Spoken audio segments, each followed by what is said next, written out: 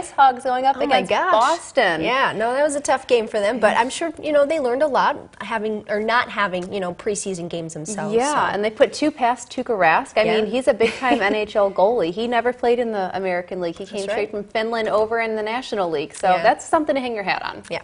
All right, thanks, Samantha. We'll have a final look at the forecast when we return.